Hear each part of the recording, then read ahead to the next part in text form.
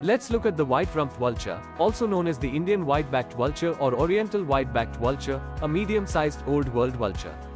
They are found in Pakistan, India, Bangladesh, Nepal, Bhutan, Myanmar, Thailand, Laos, Cambodia, and southern Vietnam.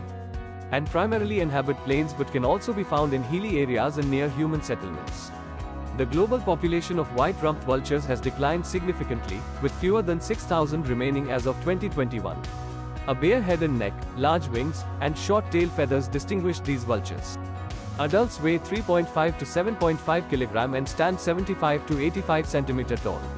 Adults of both sexes, similar in size, have blackish feathers, a white neck ruff, and a white patch on the lower back and tail. Their folded wings show a pale grey top and dark underside. Classified as critically endangered by the IUCN and are protected under Schedule 1 of the Wildlife Protection Act of 1972. For more updates, follow Vajiram and Ravi.